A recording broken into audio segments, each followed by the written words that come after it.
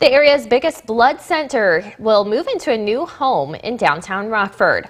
The Rock River Valley Blood Center will hold a ribbon cutting tomorrow morning at its brand new location on Longwood Street. That's just next door from where it is now on 6th Street.